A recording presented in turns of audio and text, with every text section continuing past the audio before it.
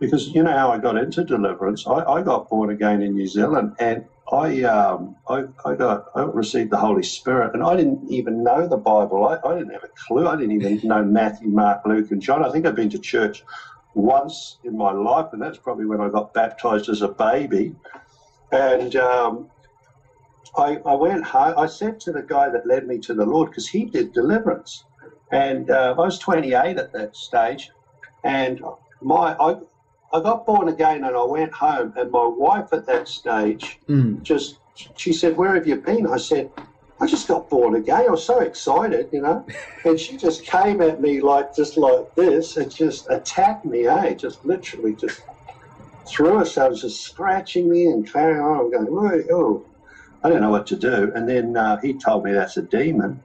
And then uh, I said to him at work, I said, if God ever showed me a demon, I'd believe in God with all my heart.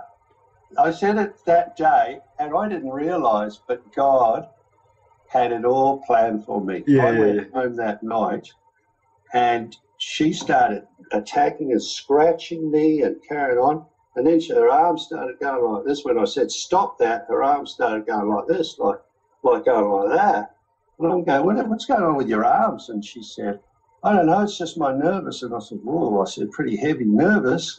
Uh, and then uh, she was ended up in, went from anger to depression. She ended up sitting on the toilet Yeah. and the, I was sitting in the bedroom and she was crying. The Lord said to me, I was like, go to her. I heard, go, in my spirit, go to her. I thought, oh, go to her. I lifted up her head and I said, uh, be strong. And I was kneeling in front of her. Man, I'm telling you, I've never to this day seen anything like it. It was, it was like The Exorcist, full on. You know, the eyes, the veins just shot across her eyes, and then just blood red eyes with, with veins just about bursting. Then the eyes they shot up into the top of the eye sockets. Then her face turned into a came into a demon looking at me, Yeah. like on her face. And then uh, so I'm looking at this, you know, pupils are up there, and a demon. And then her arms started going like that, and then she just went like that, and this was this going "Wah!"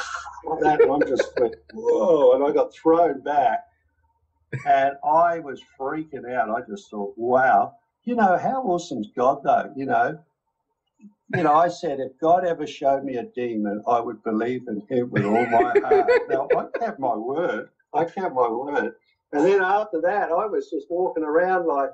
Wow, I was just looking in the shops and everything, just going, yeah, this whole place is just controlled by Satan, you know? Yeah, that's and, right. uh, and that was a big eye opener for me.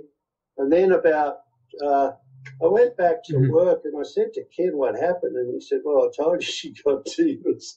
And uh, I said, "Well, I know now." And uh, I said to Ken, I said, "Well, if anyone would have demons, it'd be me. Why haven't I manifested? You know, or something's happened to me."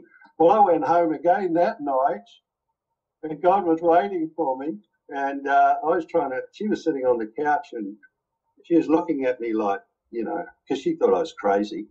And um, I was trying to preach to her about, you know, getting born again and saved. And I was reading this book uh, called The Work of the Holy Spirit, and it was Isaiah 61. And I was reading Isaiah 61. I didn't know what I was reading. I didn't even know the word. You know, I just just thought, whatever it is, I'm going to read it to her. And, uh, you know, I got halfway through Isaiah 61. She's sitting on the couch looking at me like I'm crazy. And then all of a sudden, the blood just started draining out of my head, and I just went, whoa, and I just hit the floor and just started shaking, eh, just violently.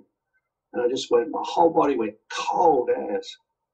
And I thought, whoa, I thought this is powerful. Mm. Whatever this is, it scared me because I realized whatever I'd read had It. done this. Yeah.